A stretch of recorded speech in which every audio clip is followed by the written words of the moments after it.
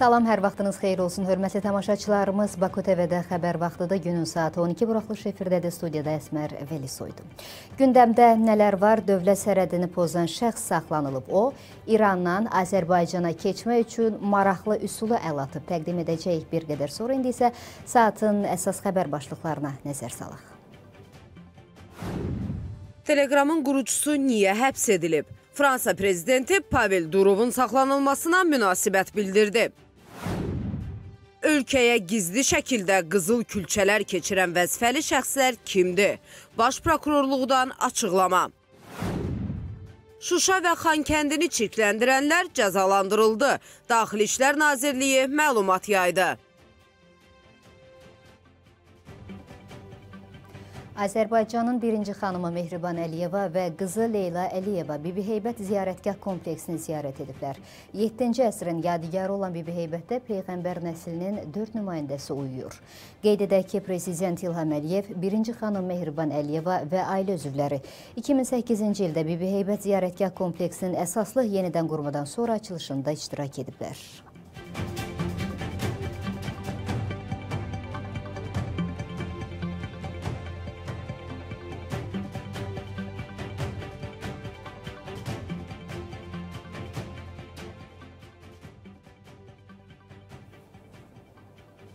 Azərbaycan ordusunda təlimlər davam edir. Bu dəfə Hərbi Hava Qüvvələrinin helikopter bölmələri məşğələlərə cəlb edilib. Müdafiə Nazirliyi təlimlə bağlı məlumat yayıb. 2024-cü ilin hazırlıq planına əsasən Hərbi Hava Qüvvələrinin helikopter bölmələri ilə döyüş atışlı təlim keçirilib. Uçuşdan əvvəl tapşırıqlar xəritə üzərində dəqiqləşdirilib, hədəf hesabatı aparılıb. Şəxsi heyətə təhlükəsizlik qaydaları çatdırılıb. Plana uyğun olaraq helikopter bölmələri qrup şəklində bazalanma aerodromundan uçuşlar edərək poligonda şərti düşmənin yerüstü hədəflərinin məhv edilməsi üzrə tapşırıqları yerinə yetiriblər. Helikopter ekipajlarının döyüş vərdişlərinin təkmilləşdirilməsi məqsədi ilə keçirilən təlimdə qarşıya qoyulan tapşırıqlar müvəffəqiyyətlə yerinə yetirilib. Pakistanda törədilən terror aktı ilə bağlı məlumat vermişdik. Silahlı şəxslərin nəqliyyat vasitələrini saxlatdıraraq insanlara atəş açması nəticəsində azı 50 nəfər ölüb. Baş verənlərə Azərbaycan Xarici İşlər Nazirliyi münasibət bildirib. Azərbaycanın Xarici İşlər Nazirliyi Pakistanda azı 50 nəfərin ölümü ilə nəticələnən terror aktını kəskin şəkildə pisləyib. Bu barədə Xarici İşlər Nazirliyinin X sosial şəbəkəsindəki səhifəsində məlumat verilib. Pakistanın Bəlucistan əyalətində törədilən terror aktı nəticəsində onlarla insanın həlak olması xəbərindən sarsılmışıq. Terrorun bütün forma və təzahürlərini qətiyyətlə pisləyir, həlak olanların ailələrinə səmimi başsağlığı veririk. Azərbaycan qardaş Pakistan İslam Respublikası ilə həmrəydir. Qeyd edək ki, Pakistanın Bəlucistan əyalətində yaraqlıların sərnişin avtobuslarına hücumu nəticəsində azı 51 nəfər ölüb. Baku Newsa baxırsınız, Emmanuel Macron Telegramın qurucusunun həbs olunmasına münasibət bildirib. Fransa prezidenti X hesabında bununla bağlı paylaşım edib. Dövlət başçısı Pavel Durovun saxlanılmasına nə ilə əlaqələndirib izləyək. Fransa prezidenti Emmanuel Macron Telegramın qurucusu Pavel Durovun saxlanılmasının siyasi olmadığını deyib.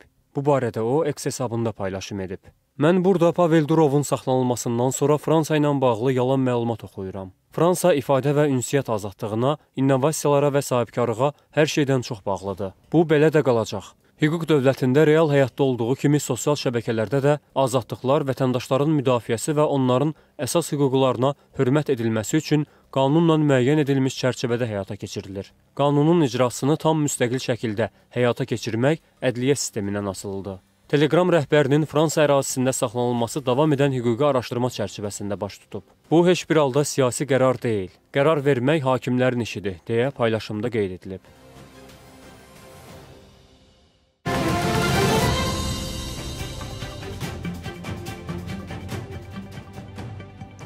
Xəzərdə sərhəddi pozmağa cəhd göstərən Əfqanistan vətəndaşı saxlanılıb. Bu barədə Dövlət Sərhəd Xidməti məlumat yayıb.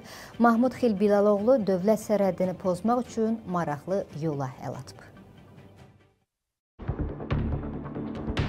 Avqustun 25-də saat 21:00-da Dövlət Sərhəd Xidmətinin sahil mühafizəsi tərəfindən Xəzər dənizinin su səthinin müşahidəsi zamanı bir nəfər şübhəli şəxsin İran İslam Respublikasından Azərbaycan istiqamətinə dövlət sərhədini pozaraq Astara rayonunun sahil xəttinə doğru üzməsi müşahidə olunub. Aşkar olunmuş şəxsin saxlanılması istiqamətində tədbirlər görülərək sahil nəzarəti bölmələri aidiyyəti üzrə məlumatlandırılıb və sahil xətti boyu ərazinin qapadılması təmin olunub. Sahil mühafizəsinin bölmələrinin fəaliyyəti nəticəsində dövlət sərhədini pozaraq Azərbaycan ərazisinə keçməyə cəhd göstərən Əfqanistan vətəndaşı 26 yaşlı Mahmud Xil Bilaloğlu saxlanılıb. Fakt üzrə əməliyyat istintaq tədbirləri davam etdirilir. İşğaldan azad edilən ərazilərin çirkləndirilməsi ilə bağlı süjet təqdim etmişdik. Belə ki, bu torpaqlara səfər edənlərin bəziləri əraziyə məişət tullantılar ataraq ekologiyanı çirkləndirirlər. Artıq həmin şəxslərlə bağlı Daxili İşlər Nazirliyi hərəkətə keçib görək 46 nəfər barəsində hansı qərar verilib?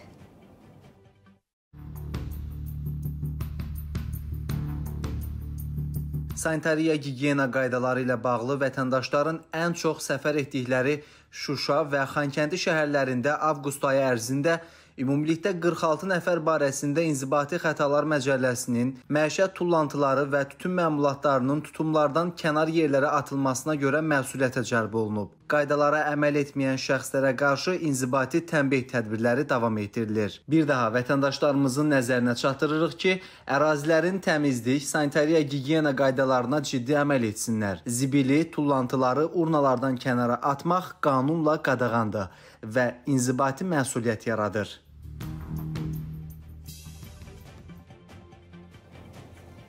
Vəzifəli şəxslərin qanunsuz əməlləri ifşa edilib. Bu barədə Baş Prokurorluq məlumat yayıb. Bildirilib ki, həmin şəxslər qızıl külçələrin ölkəyə gizli keçirilməsində təqsirləndirilirlər. Onların kimliyini və bu əməli necə törətdiklərini sujetdən biləcəksiniz.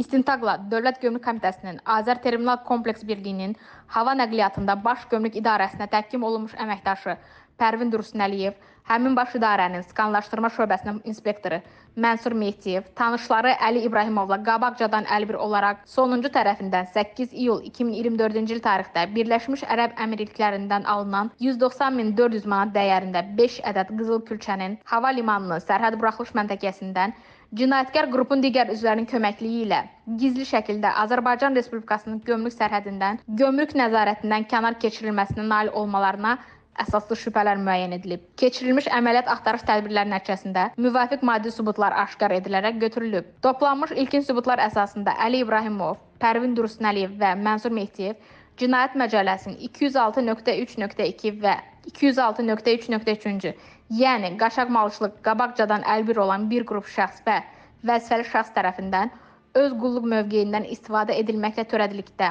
maddələri ilə təqsirlənən şəxs qismində cəlb edilib, Binəqədi rayon məhkəməsinin qərarı ilə həbs qəti imkan tədbiri seçilib. Hazırda iş üzrə sözü gedən qanunsuz hərəkətlərin törədilməsində iştirak etmiş digər şəxslərin müəyyən olunması istiqamətində istintaq əməliyyat tədbirləri davam etdirilir.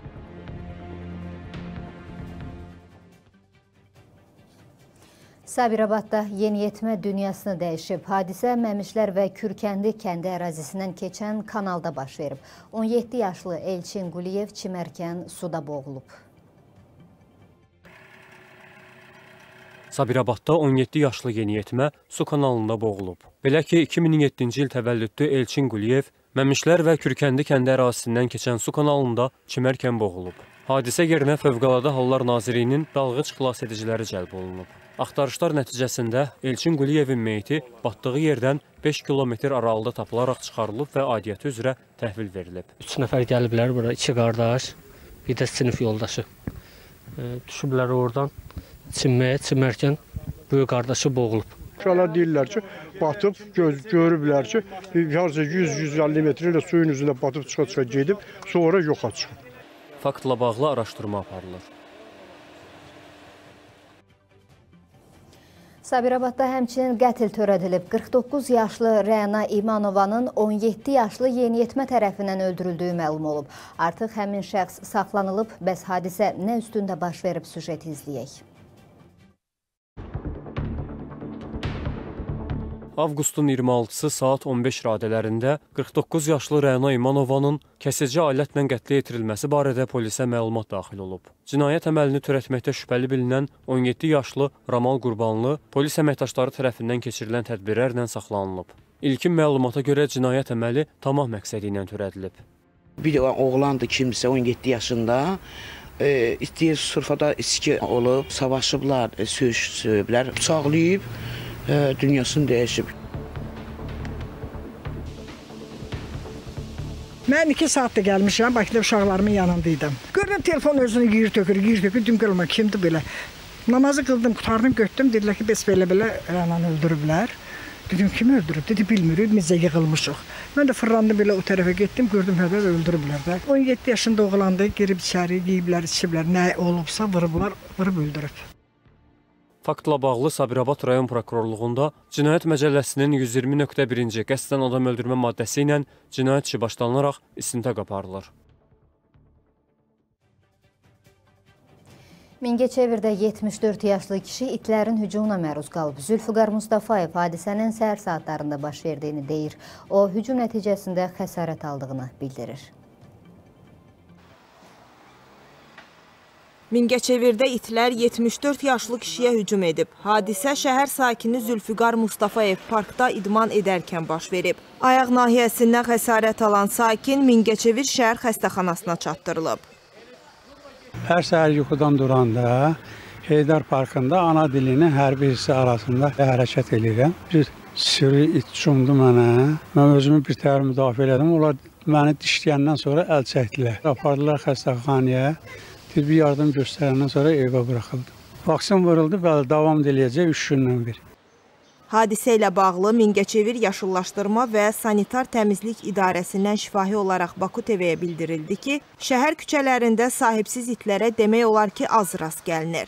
Çünki bir neçə aydır ki, onlar küçələrdə toplanaraq insanlar üçün təhlükəsiz ərazilərə aparılıb. Şəhərdə az sayda rast gəlinən itlər isə sahibsiz deyil, sahibi olan itlərdir. Onların məsuliyyətsizliyi ucbatından bəzən bu itlər fərdi təsərrüfatlardan çıxaraq şəhər küçələrində gəzirlər. İdarədən o da bildirildi ki, şəhər ərazisində müasir it sığınacağının inşa edilməsi üçün hazırlıq işləri görülür.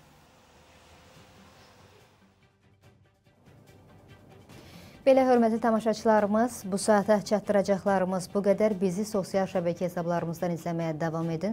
Qaynar xəttimiz isə sizi maraqlandıran və narahat edən mövzularla bağlı daim aktivdir. Həmçinin ekranda gördüyünüz frekansları yığmaqla Azərspace Pay 2 vasitəsilə bizi həm Avropa, həm də Asiyada izləmək mümkündür. Eyni zamanda kabel yayımında Aztelekom, Baktelekomda 10-cu, Citynet-də 18-ci, Connect TV-də 2-ci, KTV-də analog yayımda 12-ci, rəqəmsal yayımda isə 22-ci kanalda, Ailə TV-də isə IP yayımında 66-cı, rəqəmsal yayımda 16-cı, analog yayımda isə 13-cü kanalda bizə baxa bilərsiniz. Baku TV, ITV Plus-da da yayımlanır. Axtarış verməklə kanalımızı tapıb bizi izləməyə davam edin. Təkrar görüşmək ümidi ilə özünüzə yaxşı baxın.